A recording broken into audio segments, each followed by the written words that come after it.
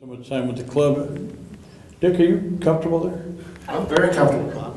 Is there, is there a reason you asked that question? Well, I thought maybe the chair was a little, you know, uh, well, if you're, com- are you comfortable? Yes, sir. Yeah. Not, I think you'd be more comfortable if we got you a different chair, wouldn't you? Good, I mean. If you would. Is it a rocking chair?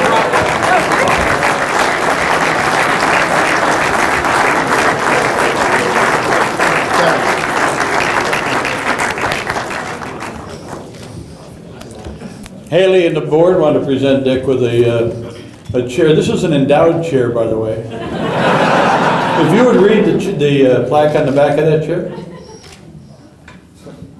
No, no, you can leave it. Dick Nussbaum, 74 and 77, Notre Dame Monogram Club President, 2011-2013, baseball, 1971 through 1974.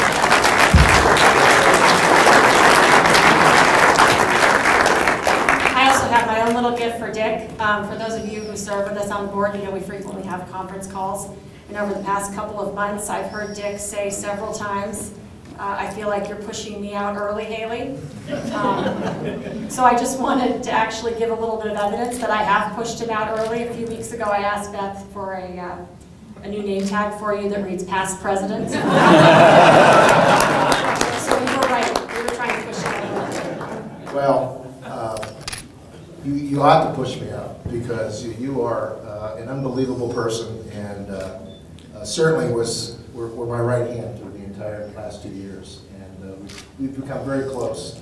We're great friends and I I admire you. Uh, And I know the whole world does as well. So um, I had Beth do a pin that says Haley Scott DeMaria President.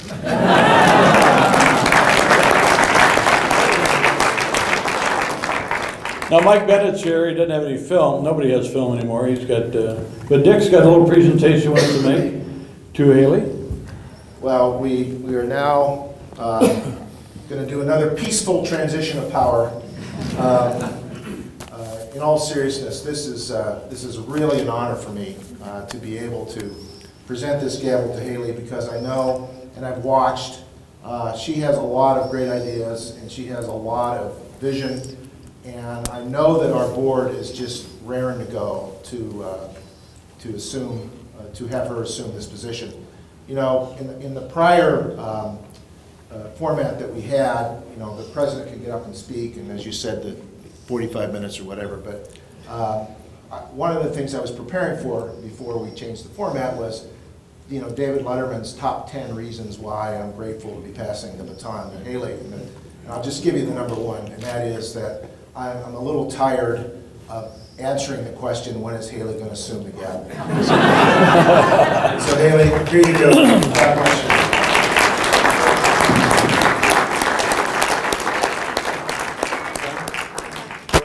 I'm the president and I say we're done. Okay. All righty.